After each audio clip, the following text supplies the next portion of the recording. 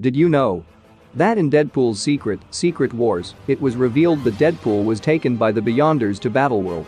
In the story, it is known that Deadpool was once a savior for the superhero team. Seeing Kang, who secretly wanted to shoot Captain America, Deadpool foiled Kang's plan by attacking him.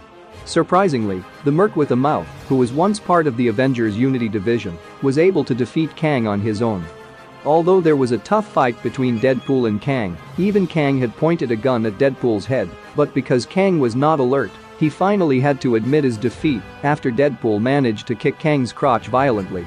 Now that it is known that the Deadpool movie is officially being worked on by Marvel Studios, with a story base about the multiverse, which is also confirmed to feature Hugh Jackman as Wolverine, it would be great if Deadpool and Wolverine participated in the Avengers Secret Wars event later and maybe adapted this funny moment of Deadpool beating Kang. What do you think, Variant?